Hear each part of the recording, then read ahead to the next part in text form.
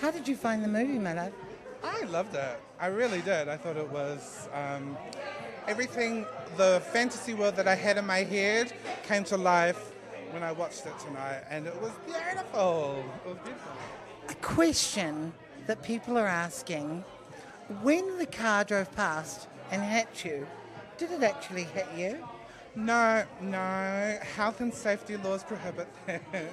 no, basically, um, the car moves, we stop, and then we rejig, and then I'm on the floor.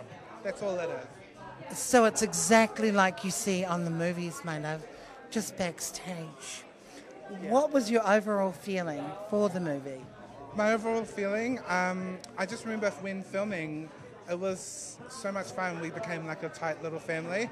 So it just reminded me so much of the family that we had, being back with it and being back at a happy time. Although the hours were very tough, because it was 6 p.m. to 6 a.m. It was night shifts, but nah, couldn't have asked for anything more. If I was an audience goer, would you suggest I come and see? Director.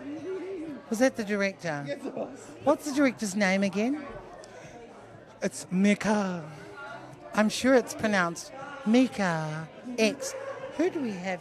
Oh, this is a, this is Jane.